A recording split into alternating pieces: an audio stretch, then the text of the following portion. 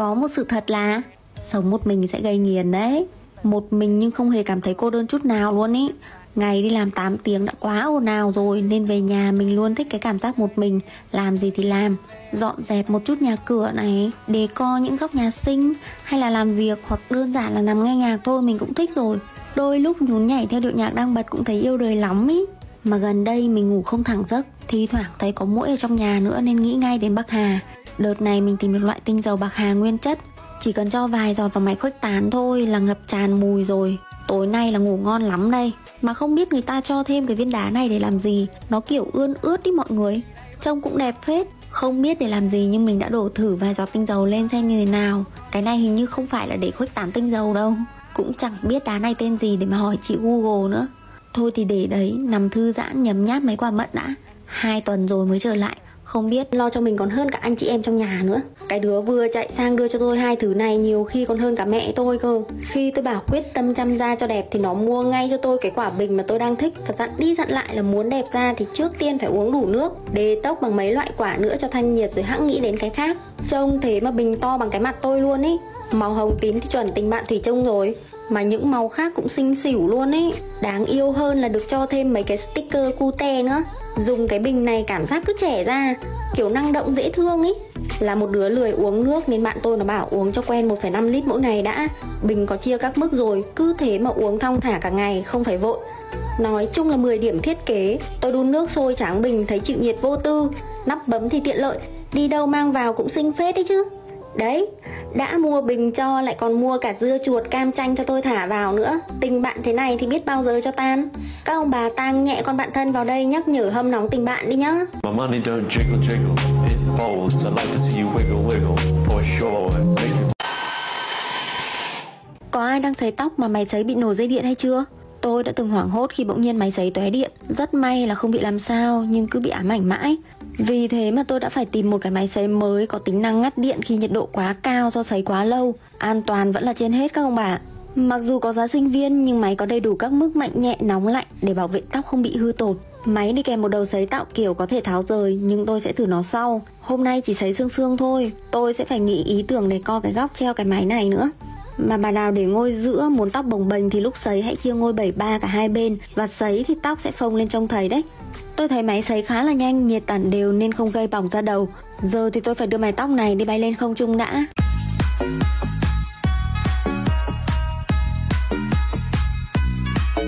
Cái tủ này đã sơn được 3 tháng rồi nhưng đến nay vẫn rất nhiều ông bà hỏi tôi đã vứt nó chưa Thật may là tôi vẫn dùng tốt. Bọt nở gắn mấy bông hoa thì sắp ngả vàng mất rồi. Nước sơn thì như mọi người dự đoán đấy, Nó không được đẹp nên tôi nghĩ khi nào rảnh rỗi sẽ bóc cho nó sướng tay Và sơn lại theo đúng cái quy trình mà mọi người đã chỉ cho tôi ấy. Tiện đây thì có rất nhiều người hỏi tôi làm sao cho cái mùi sơn bay. Thực ra một phần là do loại sơn ấy. So với cái loại xịt thì mùi sơn mà tôi dùng nó nhẹ hơn nhiều. Lúc sơn tôi còn không cả lấy quần áo trong tủ ra cơ mà. Sơn xong thì tôi bật quạt cả ngày. Đặc biệt bên trong tủ thì tôi để rất nhiều giấy thơm và túi thơm. Loại này thì rất nhiều người dùng. Cá nhân tôi thì dùng duy nhất cái hãng này thôi. Vì hương của nó kiểu tươi mát và mùi thơm nhẹ nhàng ấy. So với túi thơm thì giấy thơm tôi thấy nó dễ chịu hơn. Tôi để cả vào tủ giày và khắp nơi trong phòng. Đi đâu xa là không thể thiếu trong vali được. Còn cái nữa là bật máy khuếch tán tinh dầu. Tôi khuyên mọi người nên dùng mấy cái mùi thiên nhiên như mùi gỗ hay là bạc hà Chứ đừng dùng mấy cái mùi kiểu nước hoa ấy Mà cũng không cần bật nhiều đâu. Đấy, đơn giản thế thôi cái gương này, tôi phải gọi nó là gương tâm linh vì cứ video nào có nó là auto lên xu hướng các ông bà nhưng mà tôi hết trò làm với nó rồi nên quay lại với sự nghiệp để có phòng thôi và món đồ không thể thiếu được trong mọi căn phòng đó chính là những cái kệ. Nó không nhất thiết phải là kệ đa năng như tôi đang lắp đây, mà có thể là kệ giày dép, kệ quần áo, nhưng cứ là kệ kiểu này thì căn phòng sẽ trở nên gọn và xinh xẻo hơn. Đặc biệt là ông bà nào nhiều đồ, vừa có thể làm nơi trưng bày, vừa làm chỗ để đồ rất là hữu dụng luôn ấy. Ngay từ lúc nhận cái kệ này, tôi đã có dự cảm chẳng lành rồi. Nó quá to so với mong muốn của tôi ấy. Và trong quá trình lắp thì tôi đã phải loay hoay một hồi lâu vì cái tội không nhìn trước ngó sau để rồi lắp sai cái thanh ngang, rồi lắp sai cả thanh dọc. Kệ này tôi đánh giá cao ở chất chất liệu và độ hoàn thiện, Các cái lỗ đục sẵn đều tăm tắp nên là dù tháo ra lắp vào nhiều lần tôi vẫn làm được dễ dàng. Xốp gửi thừa thêm hai ốc vặn và kèm theo cả đế, Nhưng mà ngày mai tôi mới đóng vào vì giờ khá muộn rồi, Đóng vào sẽ gây tiếng ồn lớn ấy. Tôi kê vào chỗ này để che mấy cái ổ cắm điện xấu xí. Thật tiếc là nó hơi to nhưng không sao, cứ để tạm.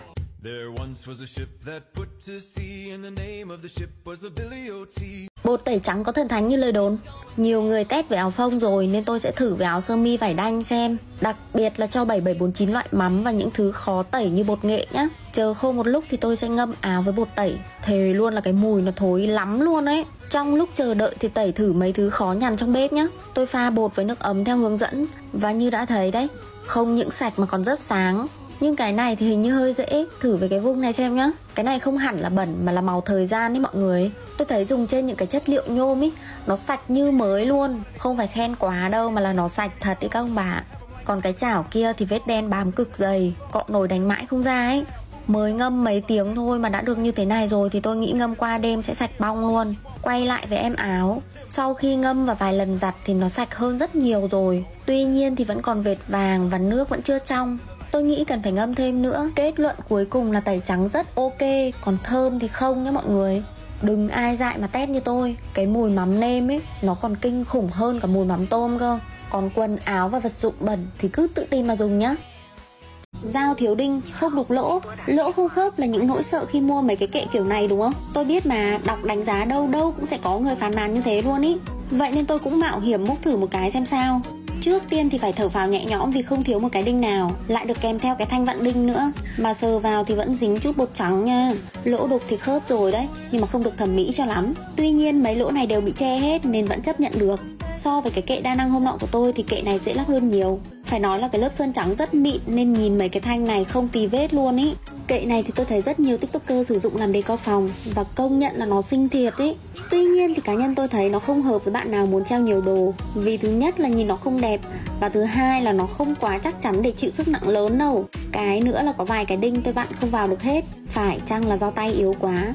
Gương hôm nọ tôi cũng đặt ở đây 10 điểm không phải suy nghĩ.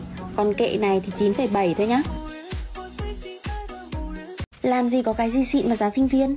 Người ta nói xiên nào của nấy. Nếu đã gọi là xịn thì át rổ giá sẽ cao. Nhưng hôm nay đi làm, mình đã hỏi các cao nhân ngày làm 8 tiếng xuống nhận hàng 9 lần Và tìm ra được cái loại đèn này. Hơi xịn thôi, Giá thì với mình là quá ổn so với chất lượng. Nhưng quan trọng nhất là nó cực tốt cho mắt Và thiết kế thì mình thấy sang. Đèn này thì nó đầy rẫy ngoài kia ấy, Nên cứ chính hãng mà bốc nhá.